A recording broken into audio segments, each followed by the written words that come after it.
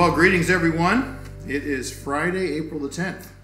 This is our weekly fireside chat. As you can see, we're next to the fire. Even though it's April, it's 40 degrees out, and you can feel it. I'm Pastor Tim Bushong from Syracuse Baptist Church. With me today is Floyd Farber. Floyd, good to see you. Uh, hang on. Let's make sure we're following the CDC guidelines. Uh, don't don't touch that end, man, because oh, there's four feet. I think four will do.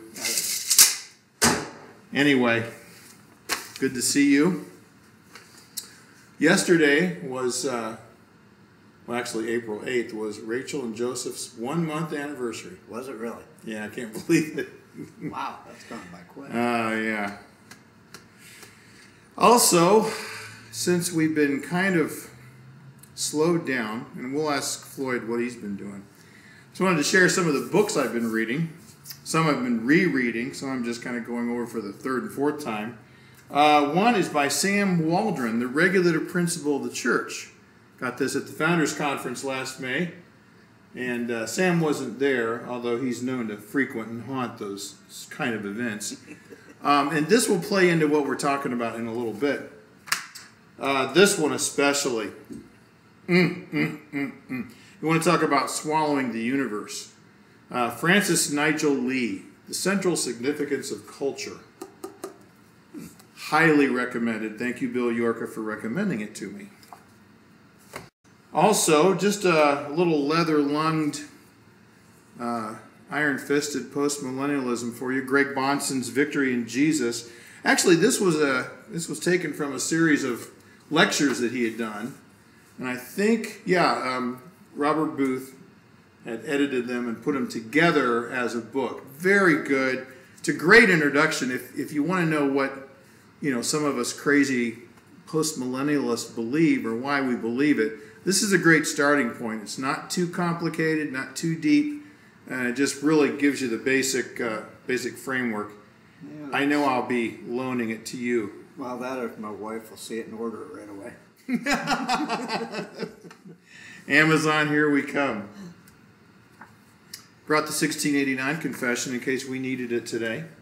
Another book I've been uh, I've been kind of using as my fun book. This is A Shepherd's Life by uh, W. H. Hudson. This was recommended to me by my friend Tim Bailey, and it's literally what shepherds do. And this would have been written about 100 years ago. I'm kind of a nut for old books. I, I really enjoyed uh, Far From the Madding Crowd by Thomas Hardy. This would have been about the same time period, the late 19th century, early 20th. And I, I like getting my head into a different time frame. People didn't have cell phones. Yeah. And it was before both great wars, before the atomic age. And some of the observations are just wonderful, especially, and I like how those authors um, weren't afraid of stereotypes. I'll just leave it, leave it at that. The other book, this is a, a daily read along with my Bible, The Preacher's Catechism, Lewis Allen. This is just excellent. Uh, Lewis takes the uh, Westminster Shorter Catechism and and kind of adapts it to uh, one who is standing behind the pulpit on a weekly basis. And a lot of my friends like that. So uh, we met the other night, you and I, and Frank Stoffels, our other deacon. Um, you and your wife Deb came here, what, about a year and a half ago? Yeah. Uh, you found us online. You said, What in the world? And then you came and visited. Yep. What'd you think? Well, we got here. Before we got here, we knew how you taught because we listened to you. That's Thank you, Internet. That's one of the reasons we came Yeah. because of the way you taught, and we come in and the people just welcomed us so well. Yeah. And before we left the church, we both just said, uh, "We're home." well, now he's a deacon, and uh, I'll tell you, Frank, we're, Frank and Floyd both have done so much work. Um, whose idea was it originally to change our old Wawasee fishing uh, cottage into a nice fellowship hall? Actually, it was both of us. Yeah. Frank was talking about that part of it, and, and I made some suggestions of this part, and then we kind of looked at it and we said, wow, maybe we ought to try this. Why don't we? yeah. so it all went, and it Well, just worked, you know, just, just. Oh yeah, it's so much so much nicer. And you know, timing is everything. Well, timing for Rachel's wedding was so good, so up to the date of the cutoff of travel with Joseph's parents and family all flowing in, flying in from Sweden. Oh, yeah, My goodness. just- So yeah, but this time we got it all ready to go. Got our TV monitor up there. We're ready to have some events, and then COVID eight, COVID nineteen. Sorry. By the way, where did you find these uh, authentic Indiana hardwood barn beams for our mantle and lintels? I had talked to a friend that told me to actually gave me the number, and I called the guy out here just south or north of us a little ways, Yeah. and he says, "Yeah, I've got several of them laying out there." So we, in the middle of the rain, sorted through them and Yeah. picked them out. What do he What do he charge you? A um, little bit. Yeah, it wasn't Eh. horrible. I mean, We Indiana farmers don't just give stuff away. We know the value.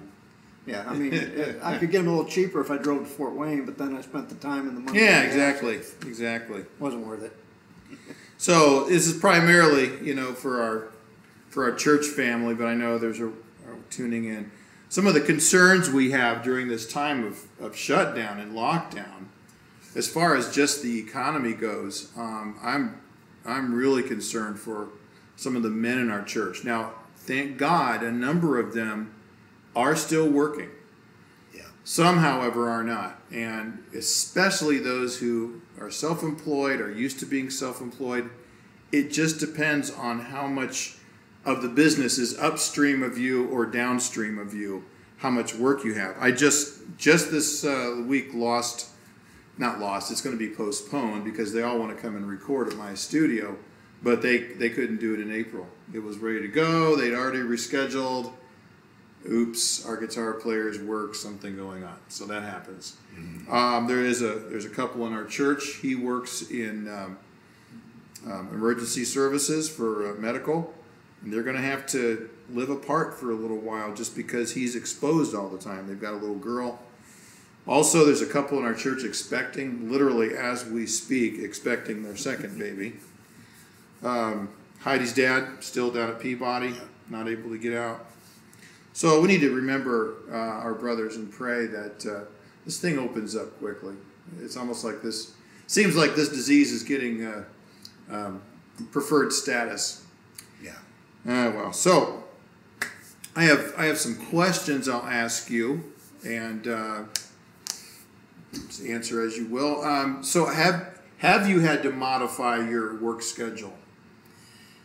Uh, no, actually, my work's picked up. What? So what do you do? I, I do. Um, I'm out at, at uh, Ridinger Lake by here. We had a house that was completely gutted, Yeah. so a lot of the work that I probably would not have done, I'm getting. It's getting done. yeah, it's getting. okay. It's given yeah. to me to do it. So you do remodeling, I do remodeling. The summer I do a lawn care. I Yeah. keep it somewhat small. I just got a call today from one of my clients that says, "We got a good friend, and they want you to come and take care of the lawn until they think it's capable of coming up to the lake." I said, Well, there you go. Great. "Okay, you know, praise God." So for for you, this has been kind of business as usual. Yeah, it really Yeah. has. I mean, you know, you try You to don't limit you don't work in a trailer factory. Try to limit your trips to the store instead of showing up once a day. You know, I've just said no. It's it's once a week, and that's Yeah. it. Yeah. So with a second question would be with a absolutely firm commitment to the sufficiency of God's written word, and you're not a prophet or the son of a prophet. No. All that being said, what has God been showing you during this time? I've been for quite a while studying on God's sovereignty. I can't imagine why, but okay. I mean, that was when I got saved. That was the very first doctrine that I I was taught very strongly. I've got a Yeah. I, I'd, I'd read a book by A.W. Pink on the sovereignty of God. Right. That's Um, that's kind of the uh, right to the point, Yes. 20th century. boom. And but as a child of God, it, it was so encouraging. Right. Uh, you Right. know, a few years earlier, it would have really scared me. Yeah. I mean, Yeah. it really would. I mean, to know God is in absolute control of everything, Right. whether we realize it or not. He is really in control of everything. He's either sovereign of all or sovereign of nothing. It's one So or the as other. as R.C. Sproul said, there's not one maverick atom or electron in the universe Yeah, doing its own very thing. much. Right. And while I've been studying that and praying one morning and and going to God concerning the, the virus and and really if you see things scripturally and you, you you know God's it's it has to do with God's judgment. Right. Right. But the thing that and I guess I knew it, but yet there's a time when God kind of enlightens you to it to see it different. And I was praying, and it just hit me like a ton of bricks that God, you shut the doors of our churches. Right.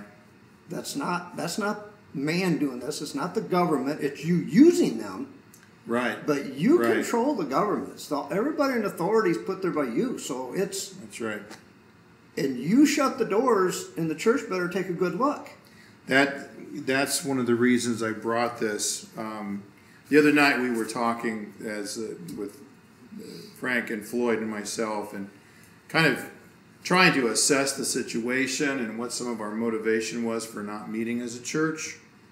And uh, you know, everyone has the same amount of data out there, and it's all. Sometimes I think it's purposefully confusing. And Floyd, you mentioned something that a, a a person had said to you that in God's good sovereignty and His providence did not take you off guard. What what did they say? This friend told me he says, uh, if this is this can't be of God because it's not done supernaturally. Okay, all right. And So, what you said earlier about God shutting the doors of churches and using the means of civil governments to do so Yeah. in, in in a real sense. yeah, saying, "Hey," and and there's societal pressure not to meet. You know, who do you think you are meeting together, putting all these people's health at risk? And it got me thinking about how that assumption that, that's a that's a real fundamental worldview assumption that says, in essence, if God is going to do anything, then He will do it all by Himself without your help. Thank you very much. yeah, How many times in the Bible do we see God using a wicked, unworthy, impenitent, rotten scoundrel, low down, low life, and says, Well, it was my purpose to do this. yep, This was my purpose. The Assyrian, right? What are they? Yeah. The, the axe in, in my hand. So, what you just said about this is from God. I, I talked to somebody recently who's an older, older person. I, of course, I'm almost sixty, so my sense of time and age and relative old and young is all whacked out. I don't even know anymore. And anyone older than me is older. Sorry, brother, but you are older. Um, and they were saying they were they were so careful in how they were trying to approach this. You know, the, the virus being well, God's sovereign; He's sovereign over all things. He now He didn't want this to happen, but and, and I didn't I didn't really broach the topic that much. I, I was just thinking, well, actually, He did in one sense. You know, when we talk about God's will, is the coronavirus God's will? Well, in one sense, it is. Right. yeah, Um, our, what's so handy at Syracuse Baptist Church is that we have a confession of faith, a historic confession of faith, that if someone wants to say, hey, Floyd, I was just wondering, where do you stand regarding A, B, or C? You don't have to reinvent the wheel. yeah, You can just say, it's funny you would ask that. Um, in my confession of faith, in my church's confession of faith, now this doesn't mean that every member here understands fully everything that's in the confession or even subscribes to every jot and tittle, although it's in general agreement. Um, chapter two is God's decree, and this is this is really where the rubber hits the road when we talk about God being in the plague or God sending. Even I- I've been reading through first, first and second Samuel. You know where I'm going. God sent a evil spirit to torment Saul, and then David plays the guitar and he feels better. You know, Yeah. little I've been reading Hosea. Oh my goodness, yes. So, number one, from all eternity, God decreed all that should happen in time, and He did this freely and unalterably, consulting only His own wise and holy will. Okay, if you stop right there, first response is going to be, What? Uh, so if someone says, does God have anything to do with this? Well, according to the systematic theology of the London Baptist Confession of Faith, Yeah. yeah. Yet in doing so, he does not become in any sense the author of sin, nor does he share responsibility for sin with sinners. Now, some people would say that's a contradiction.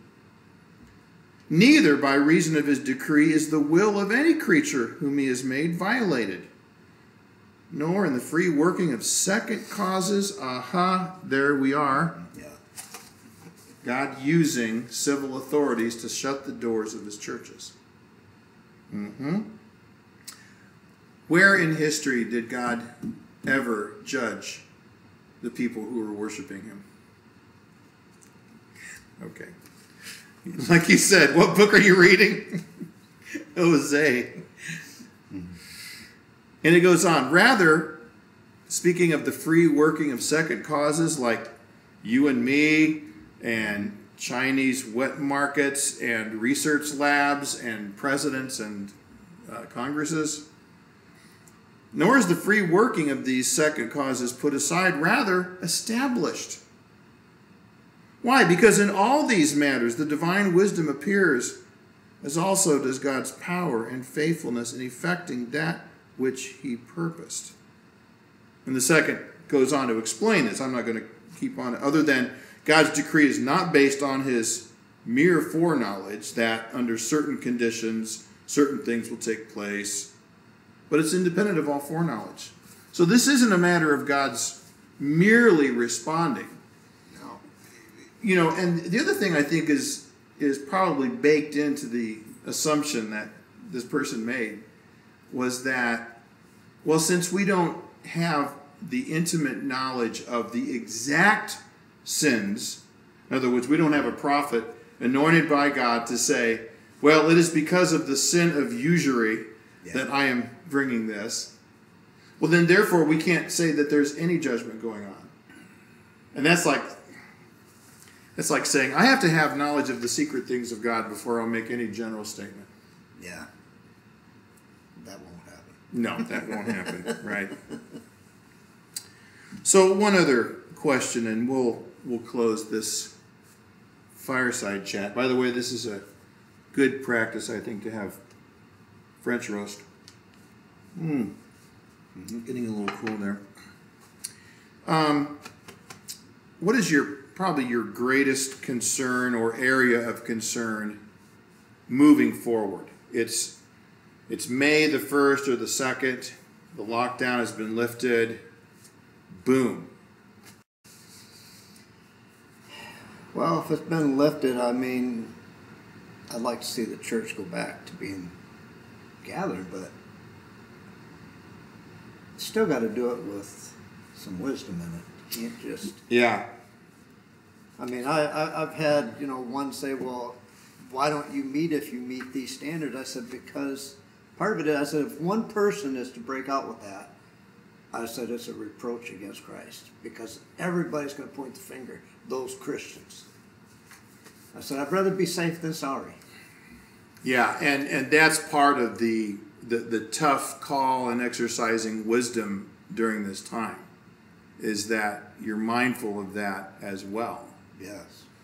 See, there there are three areas going on that you know we don't want to be constantly on the back foot as a church, always in response mode. You know, well, if you believe this, then how come? Um, yeah, give it. Be prepared to give an answer, but don't do so in such a way that that doesn't call into account. It's called the internal critique of the questioner's worldview, and leave it just kind of floating as if they have all the objectivity. I want to see go back to normal, but I don't want normal to be how things always were. And, and in other words, listen, if if it is God's prerogative to close the doors of his church for his purposes, what does he always say? He says, you know, I want your heart. All these bulls and sacrifices. You worship me in vain. And one of the reasons that I read stuff like Sam Waldron, the regulative principle, is that I'll be honest, in in so much of the landscape of what calls itself Bible believing evangelical Protestantism, even in the Reformed world, there's an awful lot of novelty. And I think there are beliefs and practices that the apostles would have just been flummoxed by. Well, I mean, that's like the friend that asked me about how can this be of God? Pick up your Bible. Yeah. I mean, you know, the church right now, the doors are shut. Take that as God saying, wake up. yeah, exactly. I mean, seriously, do you really appreciate the gathering together? well, who who sinned that all those Galileans were killed in the? To whose whose fault was that? Who sinned that this man was born blind? It's like Yeah. wrong question. Unless you repent, you'll likewise perish. Amen. Well, you know these are these are trying times, and obviously there are so many unknown factors. How really how deadly bad is COV nineteen? What computer model are we going to follow? Although a lot of the dire predictions and the numbers are being daily walked back, are there long term civil liberty issues that we have just given up without a fight? I don't know. There could be. Here's what I want to close with, though the fundamental basis of our hope is not in how this thing shakes out today, but it's in the promises that God has made to his people. Old Testament saints were saved through belief in the promises of God, in God. New Testament saints are saved by belief in the promises of God. Now they've been fulfilled. Back then, they were yet to be fulfilled. One of the promises that God has made is that the knowledge of the Lord will cover the earth as the waters cover the seas. There was a time in recent church history known as the killing times where men were being hounded from their houses all over Scotland. And even in the middle of that horrible, wicked time of persecution, these people said, Take heart, because the gospel will triumph. Jesus is king, he is reigning now. And I just wanted to read the, the words of a hymn that I obviously didn't have bookmarked. My bad. Here it is. This is from 1772. William Williams.